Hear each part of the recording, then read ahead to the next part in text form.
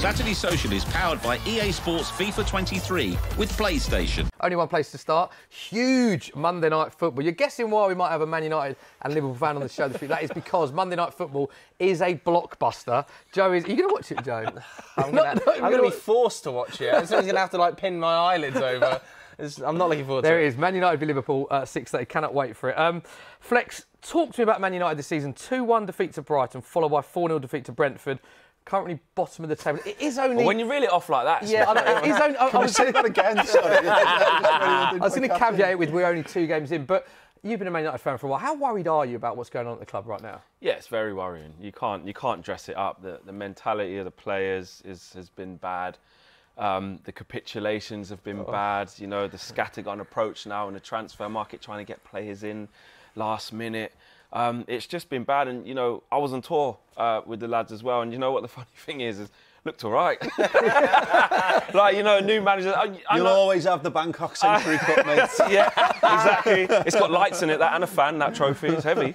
Um, that Bangkok trophy. Um, but you know, you, there's a new manager coming in, and you want to try and leave last season behind you Yeah. as much as you can. And um, there was a little bit of a feel-good factor on, on pre-season. You're thinking, you know, it's early doors, but hopefully Erik Ten Hag can start building something. And 15 minutes into the Brighton game, it was a capitulation and, and back to square one, probably even worse. now. Talk to me about Ten Hag then. When he came in, obviously very high profile manager. I know that you were excited. Does that help elevate you? Does that improve the excitement, or, or from what you've seen in the first two games, has nothing changed? Because a lot, he's had critique already, but it's so early on, isn't it, into his reign? It is so early on. The problem do is, is that Erik Ten Ten Hag? Hag's got so much to fix in a squad Yeah, that yeah. that needs stripping down and rebuilding, and that's not gonna be quick. You know, uh, we, we've done a lot of work with Ajax fans, and one of the things they said about him, even in the rebuild that, that he had at Ajax, is he needs time. Mm. Um, something that, of course, isn't afforded to a lot of managers, especially at Manchester United. Um, but like I said, there's so many issues, multifaceted issues at Manchester United that can't be fixed in one window, can't be fixed in two windows. Sometimes can't even be fixed in three, but you've got to start by having a good manager with a good philosophy. Um, and look, he's put his reputation on the line to come to Manchester United. He's a he's a progressive coach, one that is looking for the next step in his career and looking for that that that that next big job to kind of put himself onto the stage. And it could go horribly wrong at Manchester United, or, or it could go really well. Yeah. Yeah, I'm worried, man. It's so. You- Joe, Joe, I want, I've got to bring Joe in here because obviously you're a big Man United fan. You mm. are every time we look at the United game, you think we're not going to win, we're not going to win. So, so how worried are you? Is this, is this the most worried you've been as a look at- United fan in your lifetime? Would you Yeah, I think so. Because I, I'm not looking at a fixture at, at any stage at the moment thinking we can get something out of this. Mm. We can we can really get something out of this. I mean, as a Liverpool fan, you must be looking on at Manchester United with some glee. Yeah. yeah. well, look, I, but I, li well, you're I, laughing, I, I lived so. through the, the, as, a, as a Liverpool fan through the, the 90s and the, and the noughties when Man United were on top, mm. so I've got to yeah. take my enjoyment where I can where I can get it on top of all this. Like, but no, it's it's, it's crazy to see where United are, but mm. it's mad that Liverpool and United don't seem to be able to exist at the top concurrently. Yeah. Like you Yeah, never see a. Liverpool and United side toe to toe for the title. No. It, it- it very rarely, if ever, happens. Um, so obviously, what I mean is we need Man United to stay down the bottom because it means Liverpool are probably at the top as, as, as a result of it. But he's got a big job, absolutely ridiculously big job, and I just don't know whether I think Flex said it right. I think it's like it needs to be started again, pulled apart, started from zero. But how do you do that when you've got guys on?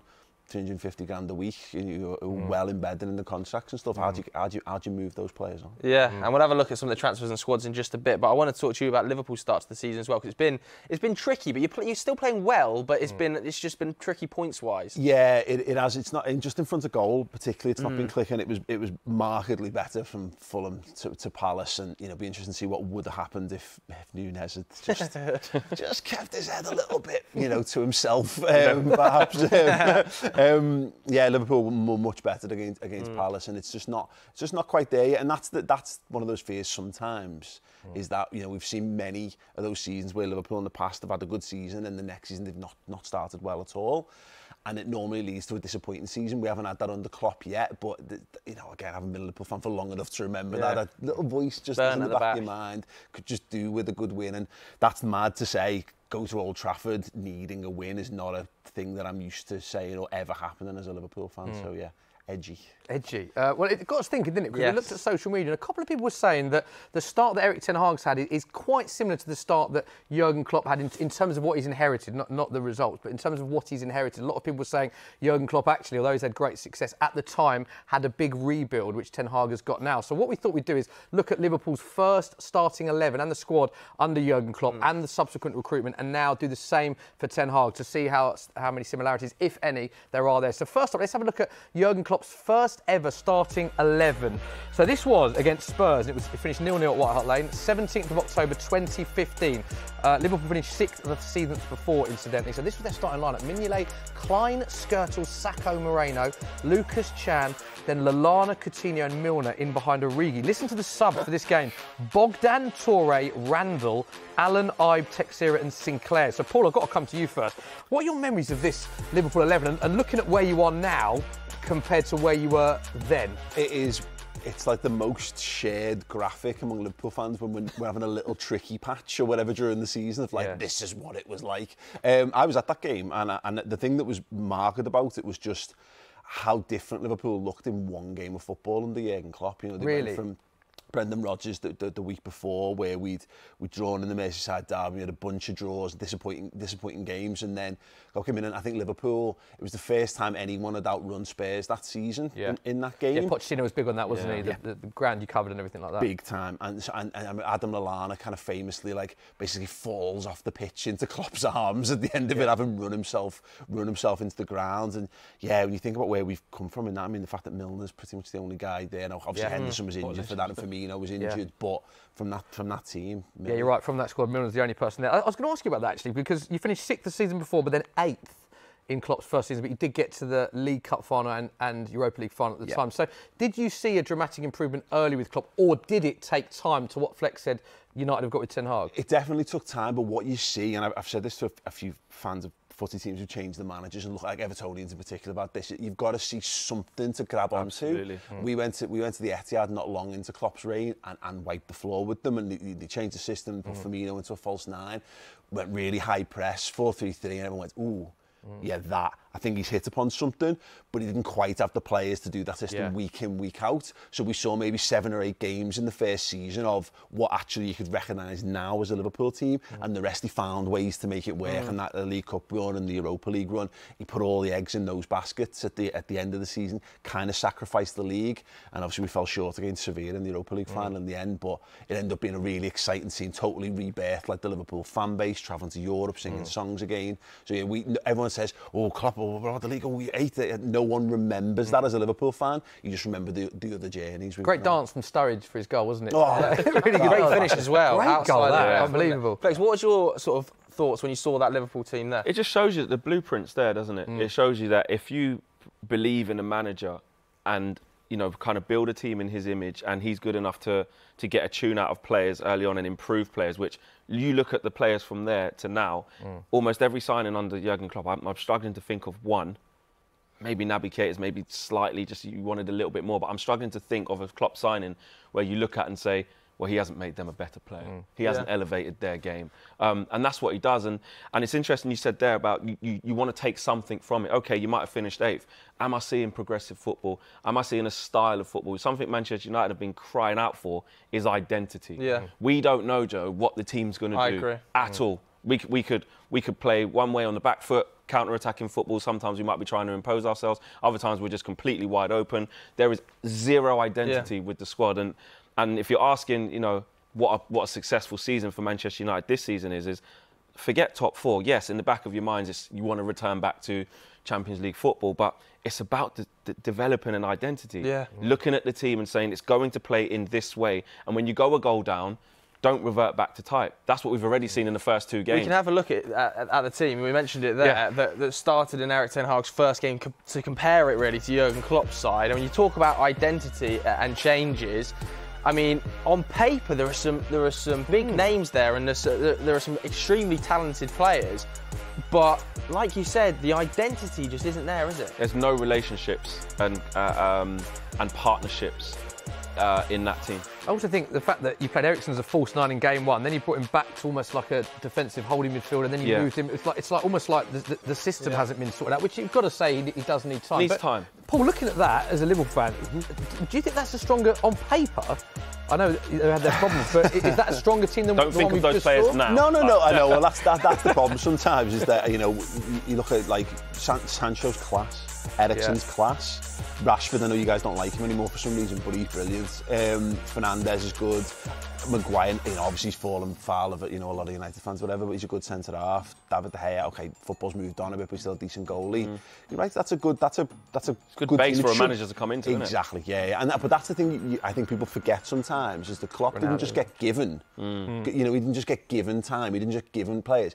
He earned it. He comes in on a short-term contract, but and wins the, the wins the respect Mm. of the fans, wins the respect of the of the ownership structure, and is rewarded with being with time. But do you the think it's just give them time? Do you think it's harder for? I know that we talk about it, him having a better team, Erik Ten Hag, but do you think it's harder for him to enact a specific style of play on a team when he's got higher caliber names and, and, and personalities that think they know best almost? Whereas when Jurgen Klopp came into, you know, Origi and Lallana and go, you're going to run into the ground that's, for me. That's a huge difference. Jurgen Klopp was the best signing Liverpool ever made. That was like I, I remember when Zidane left Juventus and like everyone wanted Zidane. You know what I mm. mean? And then you, know Real Madrid get him and you go, wow, that's a statement because you know Yeah. you've gone and got the best player in, on the planet now plays for your team. We knew we'd gone and got the, the best manager you could get, and that carries like an assurance with it. And that's the thing about Ten Hag, he's a good manager, but there's probably minimum three better managers than him in, in the league until he proves otherwise, yeah. of course. Mm. And when you've got a lot of big egos who've been there and done that, had, Solskjaer had exactly the same problem. You know, when you've got guys who are like, well, mate, I've, I, I know more than you. I've won yeah. more than you ever uh, ever won. Um, you've got to have a big personality to get over that. And Klopp, never a great player, but he, he he carried, a, he's got a charisma and he's got his power of personality and obviously the success he's had at Dortmund. Do you think on that, Ten Hag, obviously we knew it was a challenge taking taking the job on, but do you think he now that he's there, he realises this is even more of a challenge than I originally thought? This is a, a baptism of fire. I was up in the gantry at, um, at the Brentford Community Stadium and I just looked at Erik Ten Hag and I thought, he realises this is massive Mm. now. You know, again, on tour, it's all happy, it's all relaxed. There's no pressure. Um, it's all smiles. You're trying to, you know, the team building and, and you and you and you want to believe in him, and I do believe in him. But I just feel like these first two games, um, the stuff going on, you know, with players maybe leaving, coming in, what's going on, um, and then most of all, the media. Um, the baptism of fire in terms of losing those games in the way that he did, he will be looking at that, that now. And if he didn't realise before, he will be saying, "This is a massive, massive task." And a big part of it is recruitment, as, as you've been saying for, for many, many times. So I think, again, another comparison I want to look at is the players that Jurgen Klopp's brought in, and then we'll look at Yeah. what Ten Hag needs to do. Because this, I've got to say, the recruitment from Liverpool is quite frankly phenomenal. Worth pointing out, this isn't all the signings under Jurgen Klopp. There have been some that, that haven't been as successful, uh, but this is some of the main signings. Um, he spent 700 million since taking charge, but has received 525 million in transfer fees. We had to get that checked with stats. Yeah, it's unbelievable, isn't it? We, we didn't believe it at the time because it was just incredible. He's only spent roughly 175 pound net spend, but that is true. Um, but, but 175 million pounds, yeah, that, that would be really well, wouldn't it? Good. Um, but look at some of these signings. I mean, Sadio Mane for 30 million, Matip for a free. I won't read them all out, but Salah. Uh, 43 under 45 million for Salah, which is incredible. Van Dijk, obviously, that's a lot of money, but widely regarded as one of the greatest centre backs in the world. I mean, even Diogo Jota at the time, people were saying, oh, 45 million, but his goals to game ratio is, is, is incredible.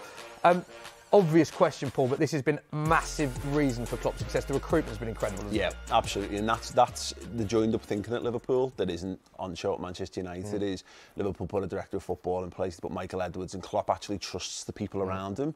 He like he, he he loves experts. He loves being able to say you know like draw upon the knowledge mm. of other people around him. He's got his ideas, but if it was left totally to him, like Liverpool would have brought in Mario Goetze, they might have brought in Julian Brandt, Yeah. and instead Liverpool get Sadio Mane and Mohamed Salah, two of the greatest players to play for the football. And worth putting out players like Andy Robertson as well, under under 10 million at the time. People were unsure. I mean, look look at him But from now. Hull, rele- relegated player with Hull, Yeah. we did the same with uh, Gini Wijnaldum from Newcastle as well, and even like Xherdan he's not on that list, but you know Yeah. he, he came from Stoke and he you know has a pivotal part in Liverpool beating Barcelona. I was going to ask you, who's, who's the, the, the best value for money signing out of all of them there? Because there's so many good ones. Is there one that you single out and go, that was the key? Value for money's mad because you, you, you I guess you want me to go oh, Andy Robertson or something for ten, Yeah. but it's, it's either Virgil or Alisson. I know, and we broke the transfer record for a centre half and for Yeah. a, and for a goalkeeper with both of those.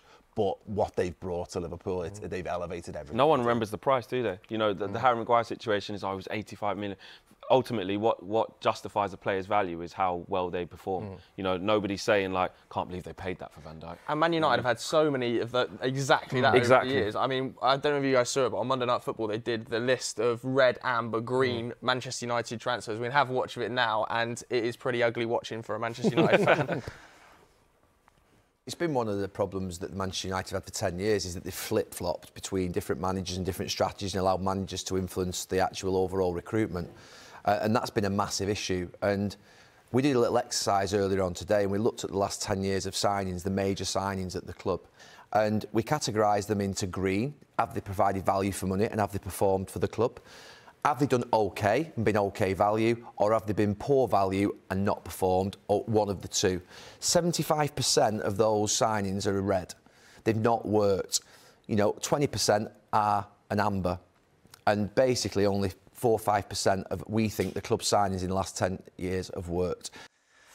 I mean, that is a damning, damning indictment Scathing. of Manchester United's recruitment. We can, we can flash that graphic back up Yeah, again because obviously wow. there was a lot of names on there that have and haven't worked. I mean, Flex, Mm. this is just poor, isn't it? It makes a horrible, horrible read, and, and, and that's why recruitment and agreeing on a strategy and staying with it and then backing managers and not changing every so often is so, so key. You know, it burns as a Manchester United fan to have to look at Liverpool and what they've done and say, well, that's what we need to do. That, that, that, is, that is it. And look at those players on there. Massive, massive wages, massive, massive transfer fees. Um, and even some of them, I think, are probably. But are United harsh learning? well. We're see, we're seeing, we've seen over the last 24 hours that they've agreed a deal for, for Casemiro. Would, would, Cas, would Jurgen Klopp and the, Man- and the Liverpool board, you know, of Michael Edwards have, have targeted a player like Casemiro who's 30 on huge wages at 60 million? It's telling that the only player close to that age they brought in was Thiago. And, Mm. and, and, again, you can see that some of the negatives of that just in terms of his fitness and availability. But like he's a guy, and they, they target attitude rather than name. It's personality Mm. as well as skill set. You know, Jurgen Klopp likes to put the finishing touches. That's like, it's a bit old school, but looks into the whites of the eyes and, and, and kind of gets a measure of the person and decides, will you fit in with what I want? Are you going to work? That's more important than how many medals you've won or you know, how big your profile is, how many Instagram Mm. And like you followers said, Jurgen would have wanted some set, like slightly different players potentially to what the Liverpool board have, uh, have actually ended up bringing in. Whereas United seem to have gone really back to Ten Hag's like Lisandro Martinez, the chase for Antony, Yeah. uh, Tyrell Malacia. So It's it- one or the other with it- it Manchester. seems to be there's no- commi- yeah, we, we, completely. we go from you know looking at a, a mismatch of players to then going okay we're going to hand over the recruitment side of it all to the manager and then get, get all players that he knows and he trusts in and They're if that covering doesn't work bets, then you can though. be stuck with They're- that They're covering bets when you get a superstar because worst case scenario is you'll, you'll sell a bunch of merchandise and you'll increase, Mm. increase the club's profile a little bit. And if you don't have a, a successful season, well, at least off the pitch, you've managed to maintain Yeah. your, your sources of revenue or whatever. I was going to mention that. It's a good point that Paul makes because at the time, I think back to my Man United mates who, who were